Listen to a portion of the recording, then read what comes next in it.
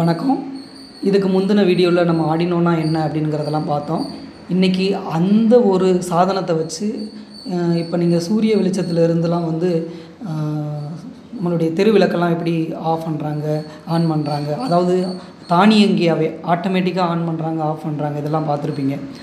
அது சூரிய வெளிச்சத்தில் எப்படி ஒர்க் ஆகுது அப்படிங்கிறத நாம் இங்கே பார்க்க போகிறோம் அதுக்காக ஒரு நான் ஒரு சாதனம் வந்து இங்கே பயன்படுத்தியிருக்கிறேன். என்னுடைய நம்மளுடைய ஆடினா போர்டில் அது அந்த சாதனத்தோட பேர் தான் வந்து எல்டிஆர்னு சொல்லுவாங்க. அதுதான் இந்த எல்டிஆருங்கிற அந்த சின்ன டிவைஸு இதுதான் அந்த வெளிச்சத்தின் மூலமாகவே வந்து கட்டுப்படுத்துது.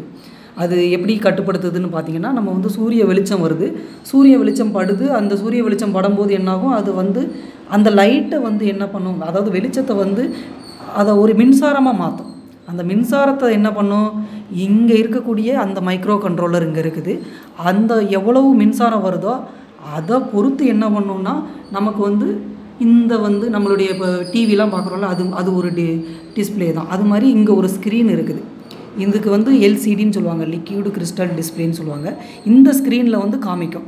இப்போ நான் எப்படி இதை செஞ்சு செயல்படுத்தியிருக்கேன்னு பார்த்தீங்கன்னா நூறுக்கு அதாவது அது வந்து மின்சாரமாக மாற்றுது அதோட வேல்யூவை எடுக்குது. வேல்யூ வந்து என்னென்னா இங்கே வோல்டேஜ்லாம் கிடையாது. இதை பற்றி நம்ம பின்னாடி வரக்கூடிய வீடியோவில் தெளிவாக பார்க்கலாம்.